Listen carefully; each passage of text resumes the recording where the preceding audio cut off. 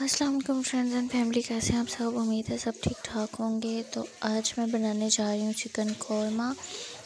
सबसे पहले आप मेरे चैनल को सब्सक्राइब करें और वीडियो को स्किप नहीं करना, आपने वीडियो फुल देखनी है। बहुत इजी और क्विक बनने वाली रेसिपी है। आपने ये ज़रूर ट्राई करनी है और मुझे कमेंट में लाजमी बताना है। तो लेट्स स्टार्ट ना हो सबसे पहले तो हमने ये स्पाइसेस अलग कर लिए हैं, जो हमें चीज़ें इसमें नीड हैं। उसके लिए हमने थोड़ा सा अनार दाना हाफ़ टेबल स्पून आप अनार दाना ले लें वन टेबल स्पून नमक one tablespoon red chilli powder साबुत धनिया गरम मसाला, हल्दी और कौरमा मसाला वन टेबल स्पून है आप चीज़ों को अगर स्किप करना चाहें तो आप अपने अकॉर्डिंग टू टेस्ट स्किप भी कर सकते हैं ऑप्शनल है। अदरक, लहसुन का पेस्ट तीन से चार टमाटर और एक छोटे साइज़ की प्याज। सबसे पहले हमने ऑयल को अच्छी तरह से गर्म कर लिया है। उसके बाद इसमें हमने जो प्याज के स्लाइसेस काटे हैं, वो हमने इसमें ऐड करने हैं और प्याज को हमने ब्राउन करना है। इसको हम जब तक गोल्डन ना हो जाए, तब तक हम इसको चम्मच से पकाते रहेंगे ताकि ये अच्छे तरीके से गोल्डन हो जाए। अभी आपने प्याज को ठीक से गोल्डन कर लेना है, क्योंकि हमने इसको फिर ब्लेंड करना है तो उसके लिए हमें इसका कलर जो है गोल्डन चाहिए। उसके बाद ये ब्लेंडर में हमने टमाटर ऐड किए हैं, जो हमने स्लाइसेस में कट किए थे। और अदरक लहसुन का पेस्ट हम इसमें हाफ़ ऐड करेंगे हाफ़ हम चिकन में ऐड करेंगे। तो ये अदरक लहसुन का पेस्ट भी इसमें ऐड कर दिया। अब ये जो स्पाइसेस हमने निकाले हैं, वो भी ऐड करेंगे। उससे पहले ये लेमन जूस हमने निकाल लिया था। लेमन जूस भी इसमें सारे का सारा हम ऐड कर देंगे। और ये जो स्पाइसेस हैं, ये सारे भी अपने इसमें ब्लेंड करने हैं।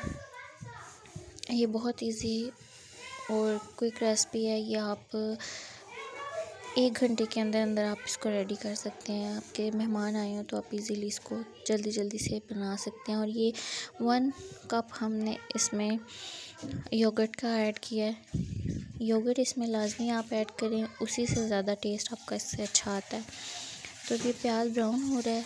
इसको हम थोड़ा सा और ब्राउन करेंगे ताकि अच्छे तरीके से ब्लेंड हो जाए। तो जितना हमें चाहिए था उस तरीके से ये गोल्डन हो चुका है। इसको हम निकाल लेंगे और ब्लेंडर में डाल लेंगे। और बाकी सारे स्पाइसेस भी हमने डाल दिए इसको ब्लेंड कर लेंगे। उसके बाद हमने ये चिकन को ऑयल में ऐड किया है। चिकन को भी हम ब्राउन करेंगे ताकि जितनी भी चिकन की स्मेल है वो ख़त्म हो जाए। क्योंकि चिकन से स्मेल तो लाजमी आती है तो स्मेल को ख़त्म करने के लिए हम उसको ब्राउन करते हैं। उसमें अदरक लहसुन का पेस्ट ऐड करके ताकि उसकी जितनी भी स्मेल है वो ख़त्म हो जाए। तो ये जो हमने अदरक लहसुन बचाया था, चिकन में ऐड करने के लिए वो भी हम इसमें डाल देंगे। तकरीबन वन टेबल स्पून के करीब है अदरक लहसुन का पेस्ट हम चिकन में ऐड करेंगे और चिकन को हम ब्राउन कर लेंगे, गोल्डन कर लेंगे। ये बहुत क्विक बनने वाली रेसिपी है। मैं फिर आपसे कहूँगी कि आप ये लाजमी ट्राई करिएगा मुझे कमेंट में बताइएगा कि आपको कैसी लगी। चिकन ब्राउन हो चुका था। उसमें जो हमने मसाला सारा ब्लेंड किया था, वो सारा हम उसमें ऐड कर देंगे। जो हमने ब्लेंडर में मसाला तैयार किया था, वो ऐड करने के बाद हम इसको पाँच से दस मिनट के लिए कवर कर देंगे ताकि चिकन हमारा गल जाए। और ये दस मिनट के बाद हमने ढक्कन को ऊपर से हटाया तो ये चिकन हमारा गल चुका था।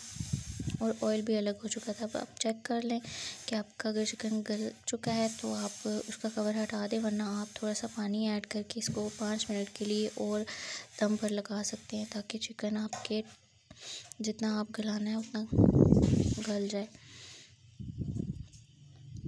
ये इसको हमने अच्छे तरीके से भून लेना है ताकि ऑयल अलग हो जाए। अब ये हमारा सालन बिल्कुल रेडी हो चुका है। इसका ऑयल अलग हो चुका था गार्निशिंग के लिए। इसमें मैं, हमने कोरिएंडर लीव कट किए थे, वो ऐड किए हैं। इसमें हम लेमन डालेंगे। लेमन के स्लाइसेस डालेंगे। और अब ये पूरी वीडियो देखिएगा और दुआ में याद रखिएगा। खुदा हाफिज़।